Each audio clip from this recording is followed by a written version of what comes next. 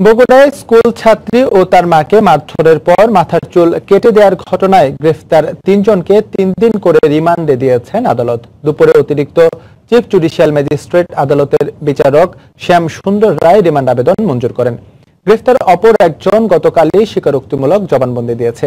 তবে ঘটনায় এখনও ধরাছোঁয়ার বাইরে, মূল অভিযুক্ত মহিলা কাউন্সিলর। ঘটনার তদন্তে অতিরিক্ত জেলা ম্যাজিস্ট্রেটকে প্রধান করে তিন সদস্যের কমিটি গঠন করেছে জেলা প্রশাসন। একই সঙ্গে নির্যাতনের শিকার ছাত্রীর চিকিৎসা ও শিক্ষার দায়িত্ব নেওয়া হয়েছে বলেও জানান জেলা প্রশাসক নুরে আলম সিদ্দিকী।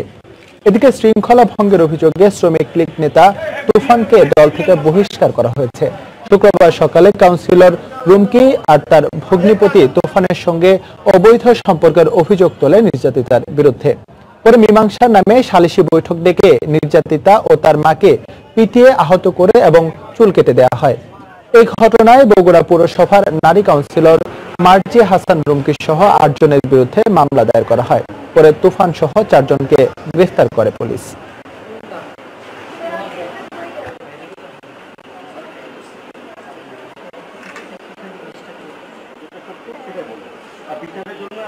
তুফান সরকার নামে একজন ব্যক্তি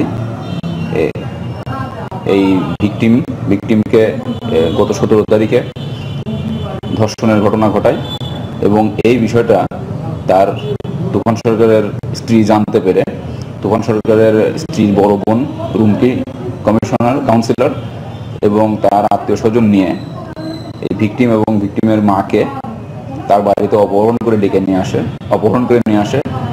নিয়ে এসে তাদের উপর চরম নির্যাতন চালায়, যৌন পীড়ন চালায় এবং সবশেষে তাদের চুল কেটে দেয়।